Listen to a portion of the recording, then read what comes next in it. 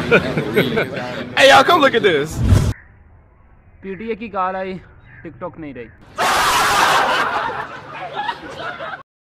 अस्सलाम वालेकुम एवरीवन क्या हाल चाल है? सब ठीक ठाक हैं? आई होप कि आप सब ठीक होंगे। तो आप देख रहे हैं मेरा चैनल उम्मीद हो सब्सक्राइब कर लीजिएगा।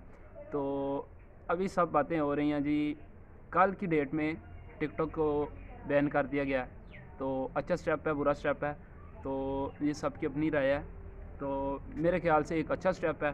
तो अभी सीन हो रहा था कि जी क्यों बंद किया गया? जो इसमें थे, गलत चीज़ें थी, उनको बंद करते, बाकी चीज़ें रहने देते टिकटॉक को चलते रहना चाहिए था।